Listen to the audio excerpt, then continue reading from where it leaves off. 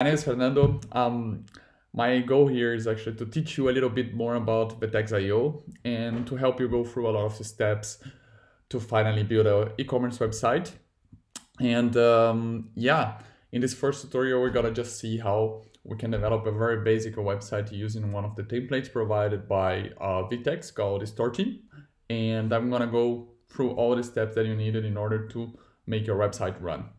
Um, please just consider that in order to develop anything using the technology of VTEX, you will need an account, a VTEX account, and you need also a Git in your machine and a VTEX toolbelt also installed there.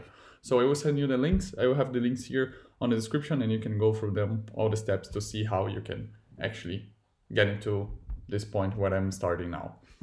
So the first thing I'm gonna do here, I'm gonna go to my terminal and here I will just create a new folder called VTEX tutorial.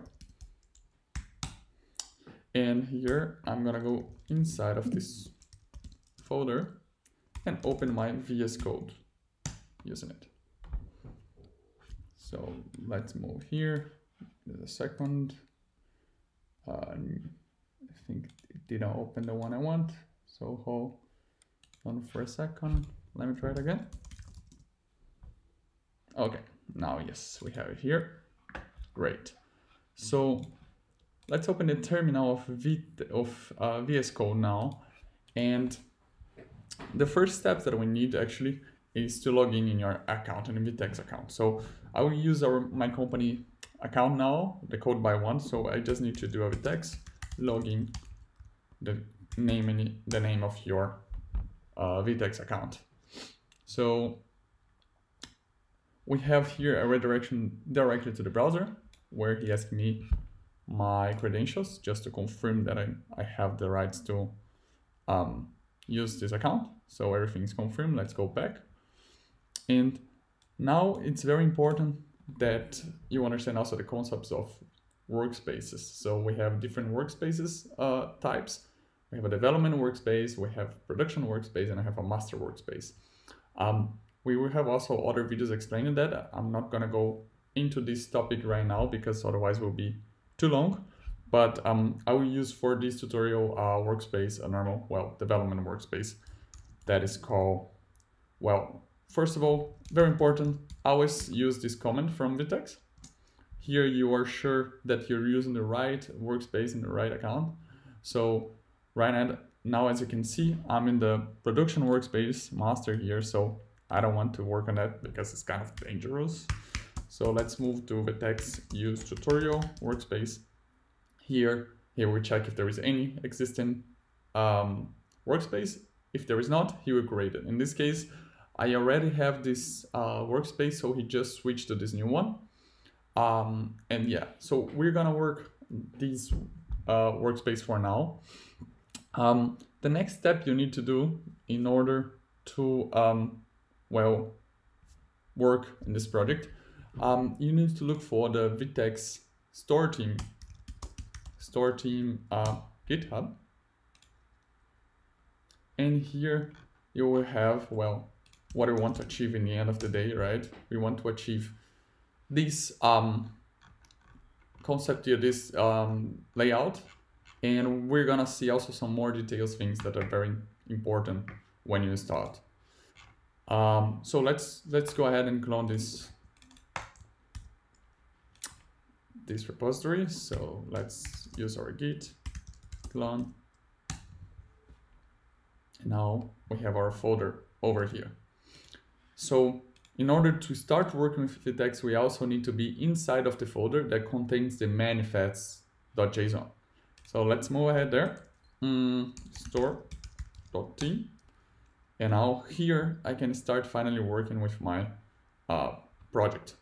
So the next step I want to do is actually to use this uh, workspace because right now, if I go to the link where I have this this um, workspace, you see there is not much there because there is nothing linking to this workspace. So what we need, we need to link all this uh, content here with our workspace. And in order to do that, you need to use a command that's called vtex link. Very important. Um, it's not ready yet, so you have to read very often what are these errors saying here. So for example, now we have an error saying that the following peer dependence should be installed. So this one here, we will need to install now in order to make our link, well, almost ready to work. So we're gonna give a vtex install and provide this app. So he runs, he asks, everything's for free. You can accept. This is a vtex app, so don't worry. And now we're gonna go ahead and use our vtex link again. So let's see if we get everything looking good here. So let's move to our link again. And we will see this error here. So this error means that there is still something wrong going on there. And um, if you get into this error, you will need to install another app that is called Link. Uh, it is called vtex dot search resolver. Oops, I wrote it wrong, I'm sorry. There was a typo here, so let's go ahead and try it again. Search resolver. Okay, now let's try it again.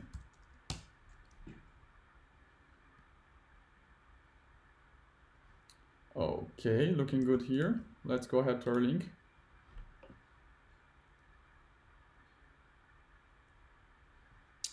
And here we are. Finally, we managed to have our design. So we already have some products um, registered in this account. As you can see here, the account is always this one here.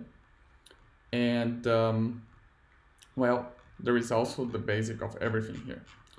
So let's let's go quickly into the code and I want just to show you some important informations here. Um, in our manifest.json right now, we, we are using the vtex vendor, and that's not the right way to go. So we actually use, we need to use our vendor, like the name of our account here. That would be in that case, Codeby. So I want to use Codeby, and I want to start the version from the zero, zero, one, okay? Um, and now it's also another very tricky thing, but Every time we change some things here and I'm gonna give another link, look what is gonna happen. I'm gonna show you now. Vtex link. So he will link to this new manifest.json that I created here. And um, well, everything looks good, right? I mean, let's go ahead there, see if everything has changed. No, everything looks kind of good. But the problem is with this here.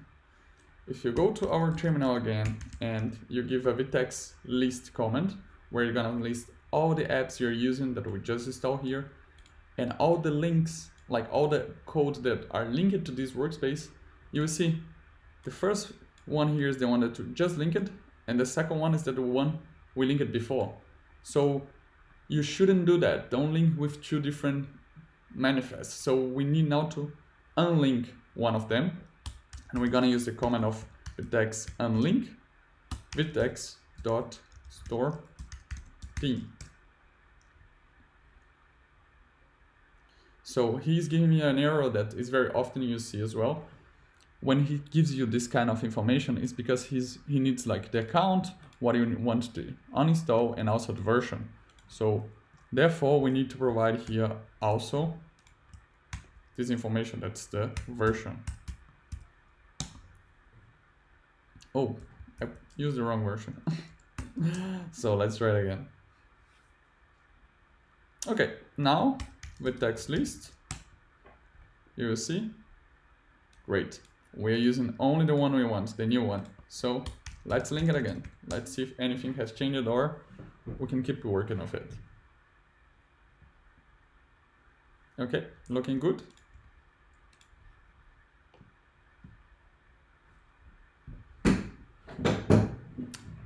and here also looking good. All right, guys. So this you have perfect. You have all the blocks here.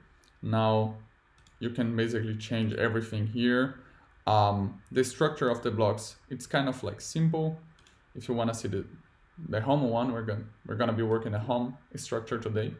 So you see everything that's here is actually uh, on our current homepage. So besides, of course, the, the header that is here, everything below that, we have blocks in our file. And in order to prove that, let's just go ahead and comment the first block. So if you comment the first block, what should happen? Our banner here, our main banner disappears. So it means everything is working fine. We are linking our, well, our code source with the workspace and we are ready to go.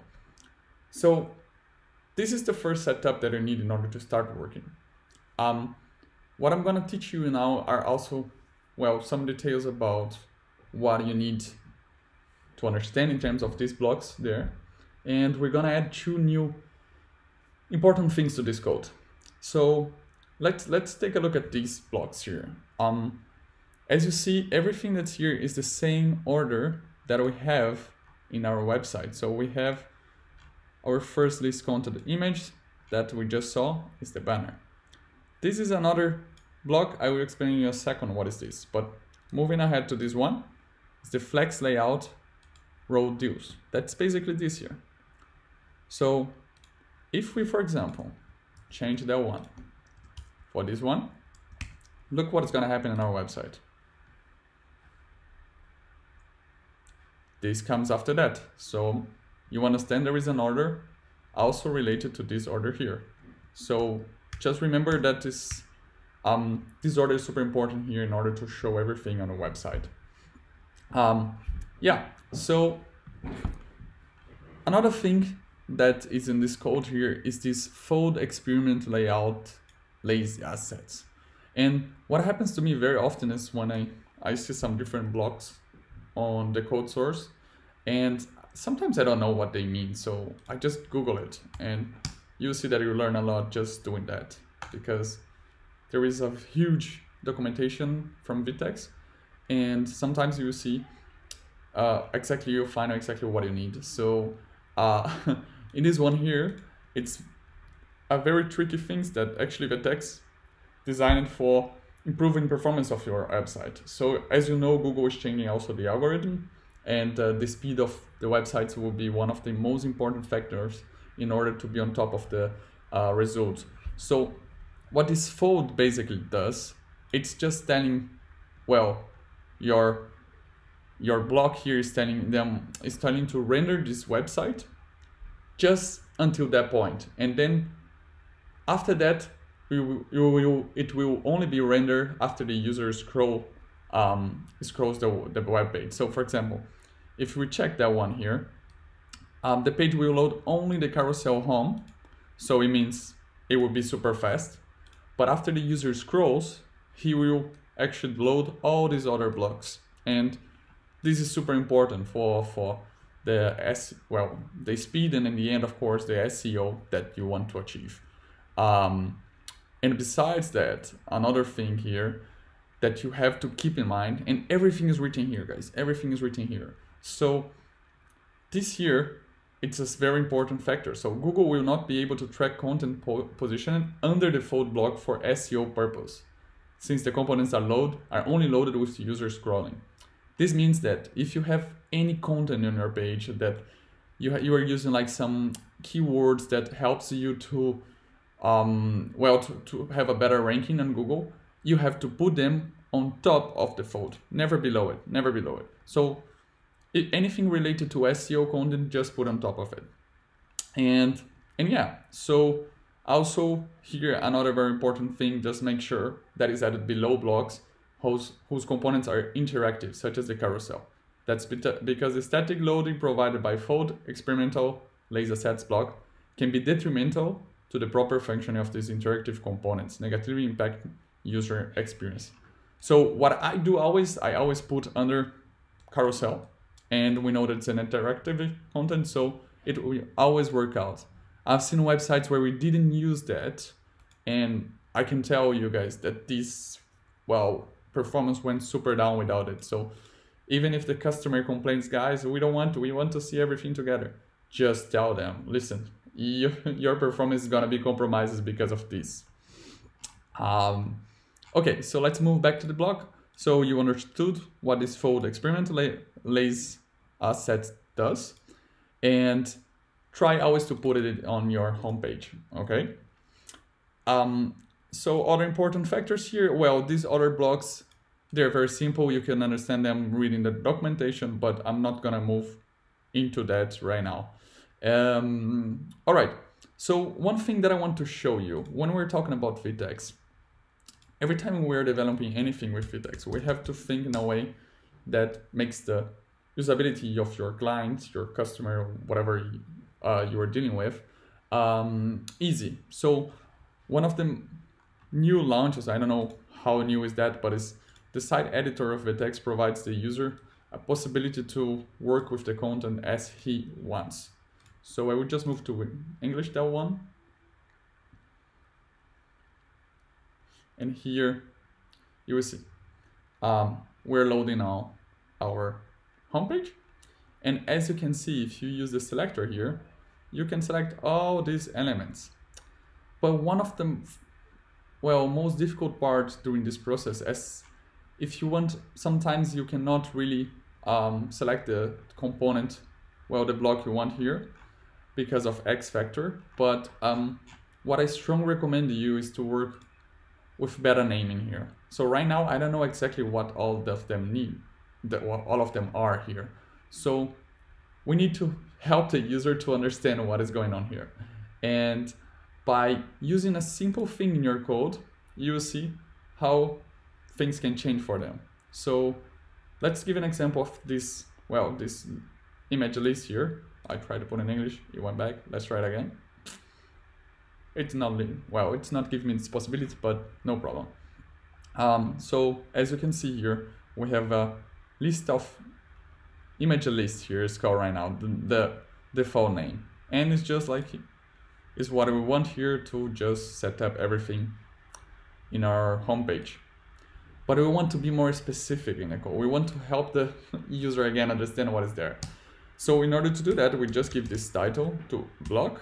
And here we use this easy title. So main banner, main banner. Uh, you can put whatever you want here. I'm using just for the purpose of the class main banner uh, block. And I'm gonna save it. So let's see if something changes here.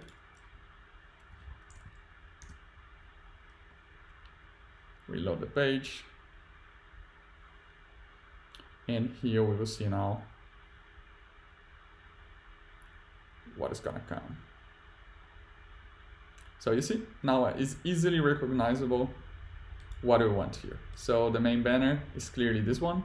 We have one that's called just row. Imagine that. What is a row? So this row actually is what is then there here uh, under the main banner. So you can give a name, you should give a title to all of your blocks. Don't forget about this. This is like super important for users. Oh my God, they get lost sometimes. It's, it's complicated. So just try to do that. And I'm gonna also see uh, if we can improve something else.